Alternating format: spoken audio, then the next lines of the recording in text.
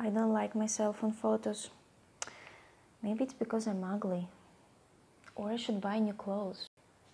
No, girl, you're awesome. It's probably your poses that you need a little bit of help with.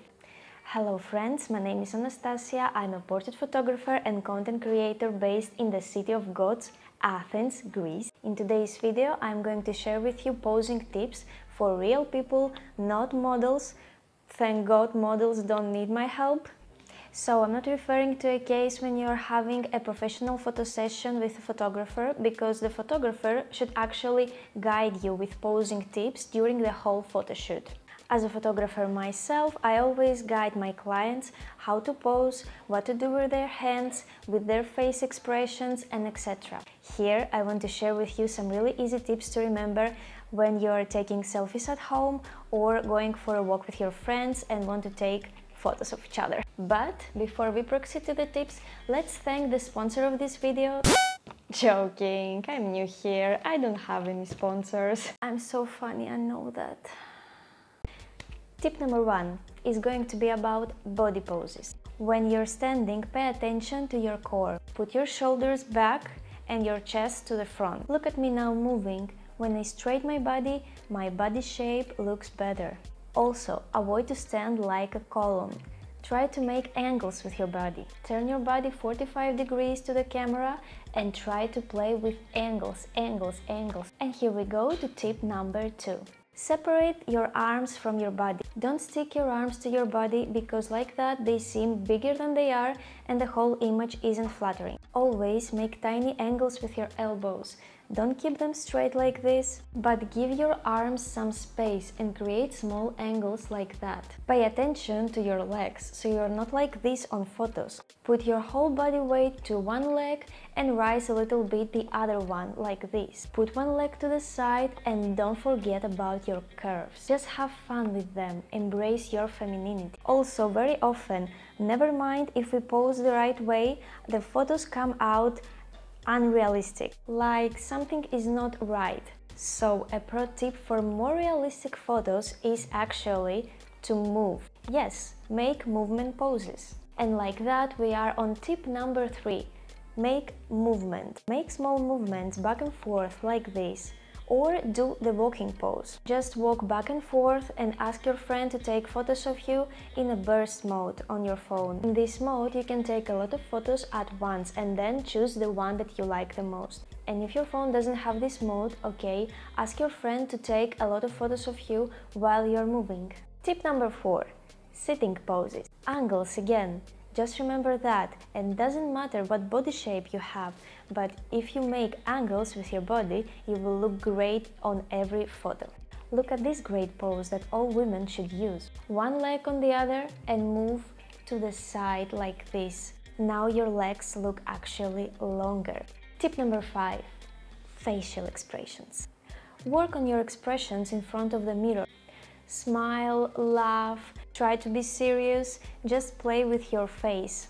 Then make a lot of selfies with different expressions. Now you have what to compare. Definitely you're not going to like everything, but you will have one photo that you like. Then find your best side. All people have their favorite face side. Our face is not symmetrical, so guess what? Both sides are different. So experiment with this. Take selfies from the one side, then from the other side, then straight face. And then you will see what you like the most. I prefer to make photos from this side. And here we go. Posing tips are followed up with some technical tips, not that difficult to remember, but so crucial for a good photo. Pay attention to your light. Come closer to the window so your face will be fully covered by the light. Look, when we have shadows like that, we have a strange image. We look older and tired, and we don't need that. So if you're taking selfies at home, go closer to the window. And if you're outside, make photos at golden hour, when the light is soft and won't create strong shadows. Tip number 6. Relax your eyes and lips. You can do that if you close your eyes, breathe in and out. And then open your eyes. For the lips, smile, smile, smile. I know this looks funny, but it's the only way. Tip number 7. emotions. I always encourage my clients to show their emotions during the photo shoot because that is that makes that photo more real. Because when people look at that kind of photos, they subconsciously think that what happened then was real. But if you're alone taking selfies, begin with smiling. This is actually a psychological fact that if you randomly smile, your mood gets better. Tip number 8. Camera tilt. Put your phone straight. I will actually show it to you with a white background so you will see it clearly. So keep your phone straight. Like that you will not have body distortions. But if you put your phone like this, then your head will look bigger and your legs shorter.